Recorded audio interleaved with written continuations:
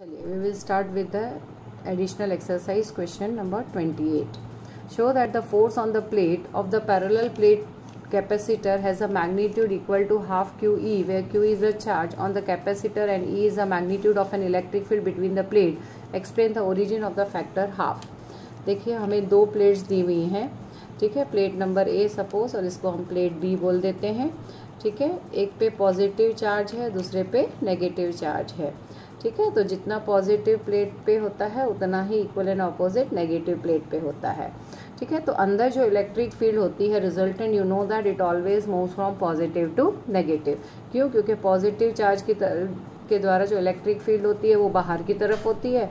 Negative charge की तर, के लिए क्या होती है? Towards the source charge so ultimately the resultant electric field क्या होगी? ई ए और ई बी टोटल जो होगी वो कितनी होती है? Sigma upon epsilon naught. ठीक है? अगर मैं लिखना चाहूँ ई ए और ई बी अलग अलग से तो क्या हो जाएगा? Sigma upon two epsilon naught. Fine so this is a total electric field अच्छा अब आपको क्या करना है? जब फोर्स निकालना है तो कोई भी एक प्लेट को आप रेफरेंस ले लो। ठीक है? सपोज़ अगर मैं इसको रेफरेंस ले रही हूँ, ठीक है? तो इलेक्ट्रिक फ़ील्ड एक के द्वारा लेना है तो फोर्स दूसरी प्लेट पे लगेगा।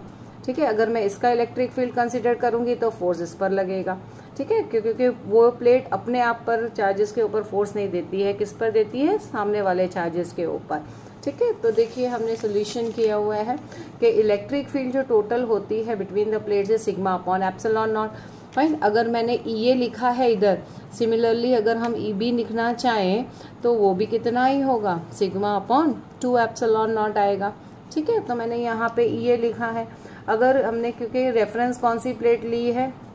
ठीक है इलेक्ट्रिक फ़ील्ड एक के द्वारा ली है तो फोर्स बी के द्वारा बताएँगे। आप सिमिलरली फोर्स अगर आप चाहें ए के द्वारा तो इलेक्ट्रिक फ़ील्ड आपको बी लेना है।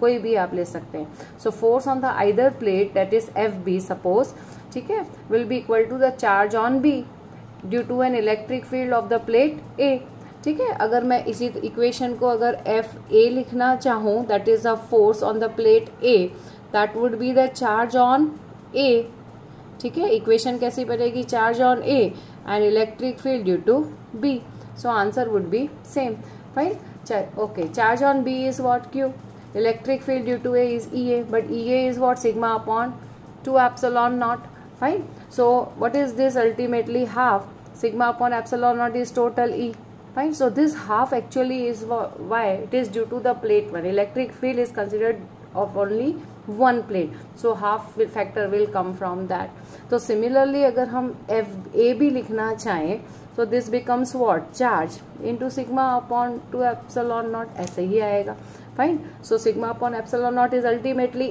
e so half q into e आ जाएगा fine